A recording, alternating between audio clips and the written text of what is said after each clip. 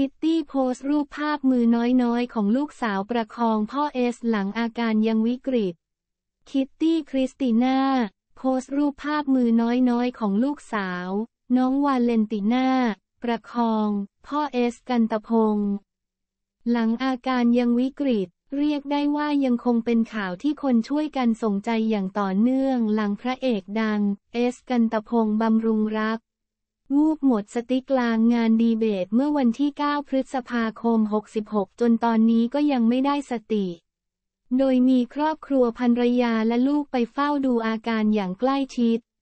ท่ามกลางความเป็นห่วงของเพื่อนร่วมวงการบันเทิงและแฟนคลับอย่างมากมาย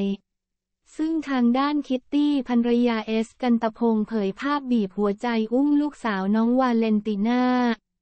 เฝ้าคุณพ่อข้างเตียงไม่ห่างพร้อมกับได้ระบุข้อความเอาไว้ว่า always by your side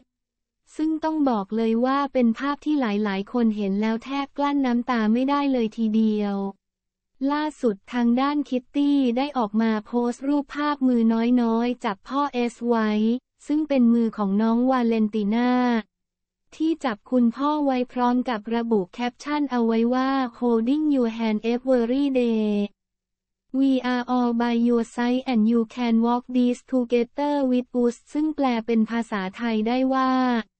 จับมือกันทุกวัน เราทุกคนอยู่เคียงข้างคุณและเราจะเดินไปด้วยกัน